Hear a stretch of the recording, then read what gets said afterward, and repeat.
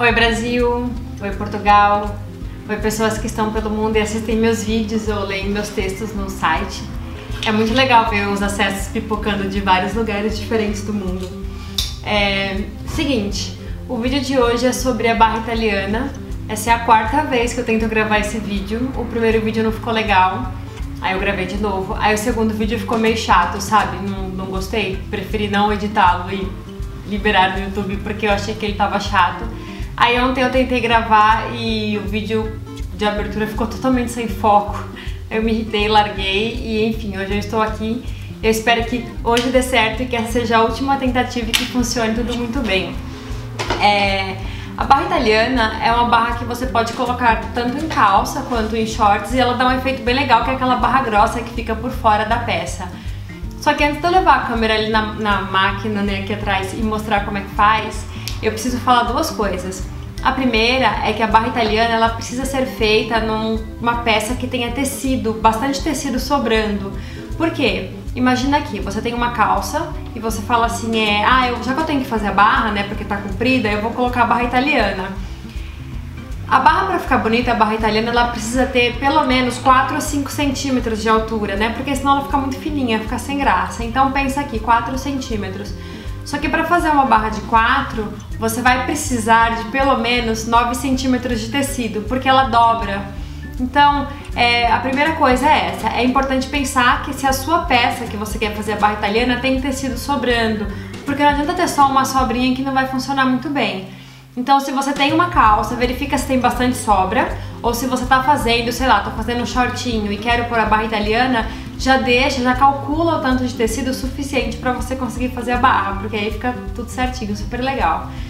E a segunda coisa é que assim, existem várias formas de chegar nesse resultado, né? Não existe uma receita única para fazer uma barra.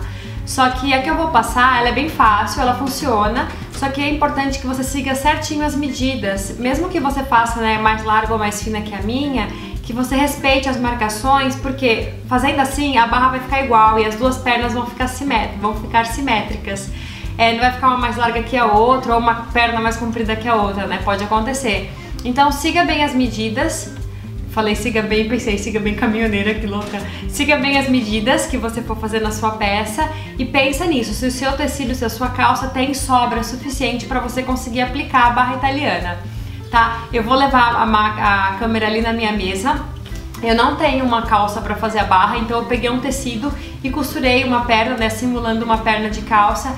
Então, se você quer aprender a fazer mesmo, quer aplicar em uma peça, minha sugestão é essa: pega um tecido, fecha ele para virar uma perna de calça e treina antes. Treina dos dois lados, pelo menos umas duas vezes, e aí depois você aplica na peça final, né, na calça que você quer fazer ou na bermuda, porque ela vai ficar ó, bem bonitinha tá bom? Então, vamos lá pra mesa. Ó, isso aqui era só um quadrado de tecido que eu fechei, né? Eu fechei ele pra fazer a barra. Então, vou desvirar aqui pra vocês darem uma olhada. Ó, é só um tecido que eu costurei a lateral. Costurei aqui. Pra eu fazer a barra. Então, eu vou trabalhar com o lado avesso do tecido, ok? Imagine que aqui está a perna da minha calça. Eu vou utilizar essa parte para fazer as marcações, um giz. Aqui é um lápis aquarelável, que também é legal para riscar, fita métrica e régua. Tesoura para a gente cortar o tecido. Então vamos lá. Imagina que aqui é o tamanho que eu quero a minha calça pronta. Eu vou fazer um risco só para fazer a medida.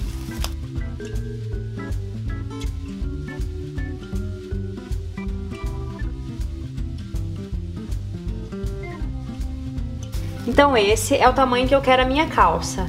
Vou trabalhar com uma barra de 4 centímetros, então para isso eu vou marcar 2 centímetros em cima, 2 centímetros embaixo.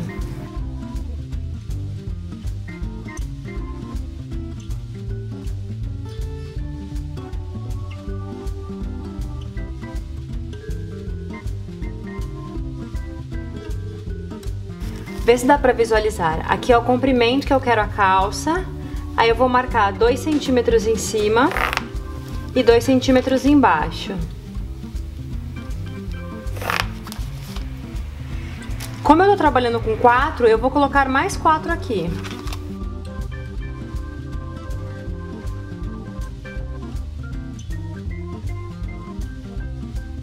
e mais um centímetro que vai ser a minha margem de costura.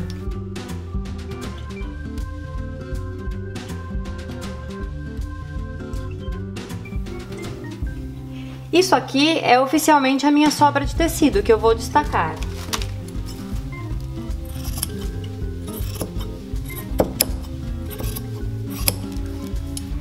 Então vamos lá, ó. Aqui é o comprimento que eu quero a calça.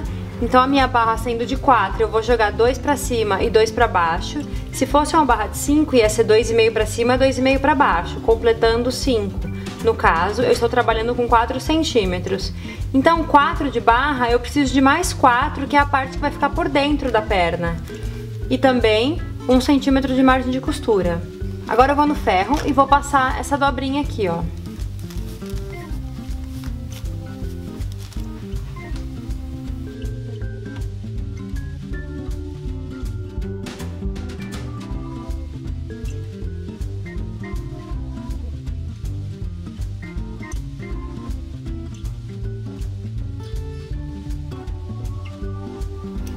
Depois que a gente passa um centímetro no ferro, a gente vai dobrar essa barra para colocar a dobra aqui junto com a marcação daqui de cima. Então, basicamente, a gente vai dobrar e alfinetar aqui.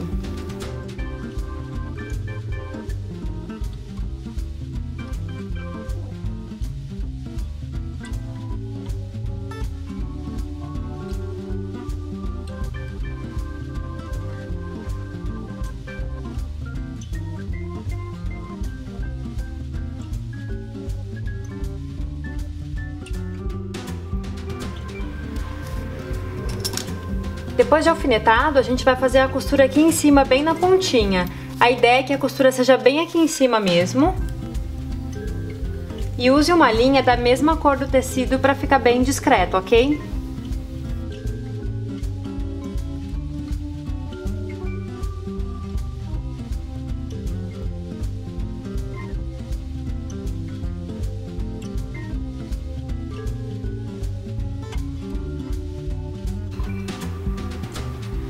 Eu terminei de costurar a minha barra, então eu fiz aqui em amarelo para facilitar a visualização.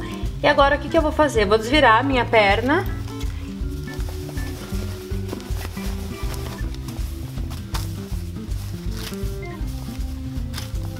Olha, eu desvirei e agora eu vou fazer isso, ó. Vou organizar a minha barra.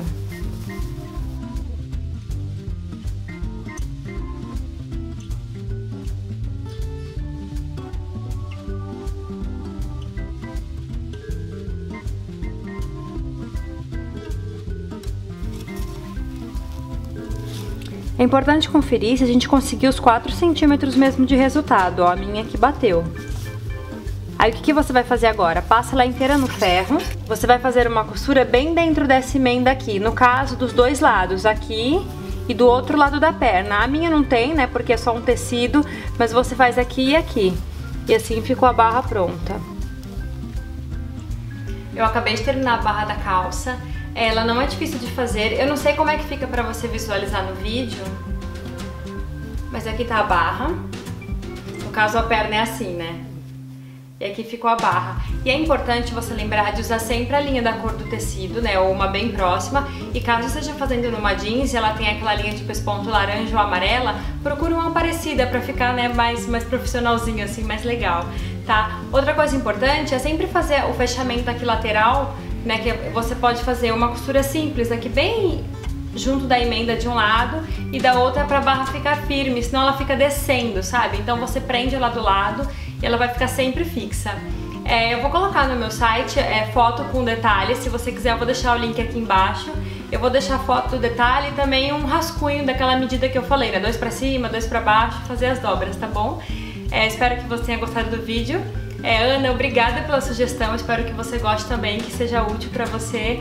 E se alguém tiver dúvida, deixa aqui embaixo nos comentários, eu sempre respondo, assim como eu também sempre respondo os comentários lá no meu site, ok? Eu espero que você tenha gostado desse vídeo, que ele seja útil para você. Aproveita também para se inscrever no canal e assista aos outros vídeos que eu já postei aqui, porque tem bastante conteúdo e eu acho que eles estão legais, eu tô recebendo feedback bem bacana das pessoas, obrigada de verdade. E é isso, a gente se vê no próximo vídeo com um novo assunto de costura ou algo similar, tá bom? Até mais, tchau!